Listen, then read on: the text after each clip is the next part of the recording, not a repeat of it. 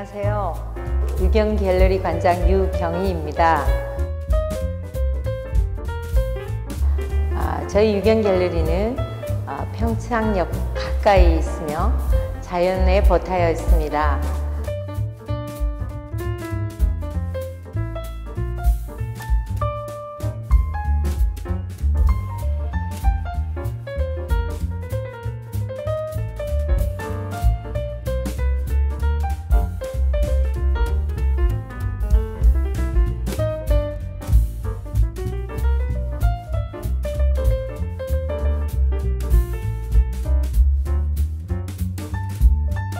전시도 볼 수 있고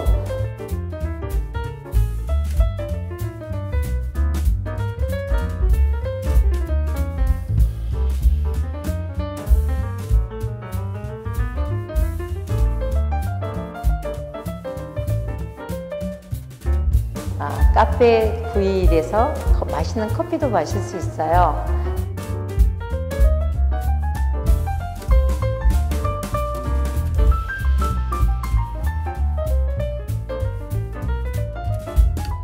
저희 유경 갤러리에는 지금 현재 임수식 작가님의 책가도전이 열리고 있습니다.